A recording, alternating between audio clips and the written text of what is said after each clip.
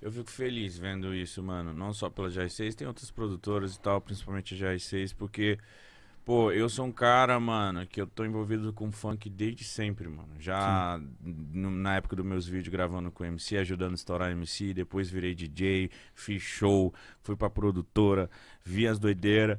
E a única. Já bati muito na tecla, então, tipo, o que me deixava muito triste com o funk, eu falava assim, mano, falta profissionalismo nessa parada. falta. A O que falta no funk é o profissionalismo, mano. Porque eu olhava, eu entrei no mundo, eu falei, mano, caralho, se esses caras.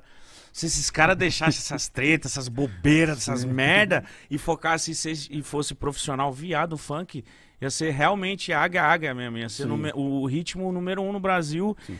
E os shows iam ser mais caros, a galera, ia- a- a- os contratantes iam tratar os artistas de funk melhor ainda, a TV ia entender melhor ainda o funk. Sim. Ia ser outras ideias, porque as notícias que, que vazava do funk era treta de, de Sim. empresário.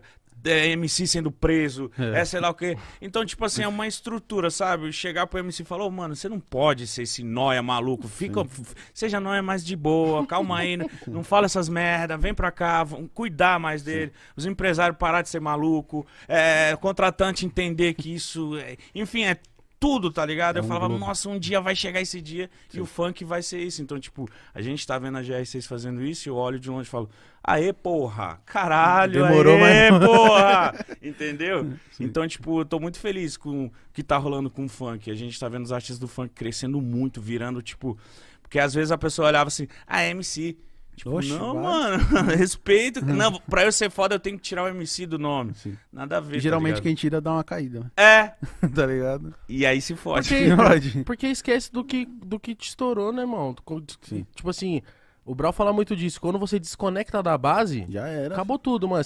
Tá tudo errado. É, o que, o que mais rolava com o MC era, tipo assim, ele estourado, aí viu uma super gravadora contratar e falava assim, ah, agora você vai cantar outro ritmo, tira MC e já era, você é pop. Aí do nada o cara que era mó funkeirozão do nada vai cantar musiquinha e os caras aí. Eu acho que às vezes a gravadora faz isso pra brecar mesmo. Tá? É, eu acho que é só preconceito, Tá tá ligado? Não, mas eu acho que às vezes. Mas não faz. Brilha muito, é muito reluzente o funkeiro assim, tá ligado? Pros caras. Então, e pra- é pouco investimento. Aí chega uma gravadora que põe milhões no artista e não vai, não vai.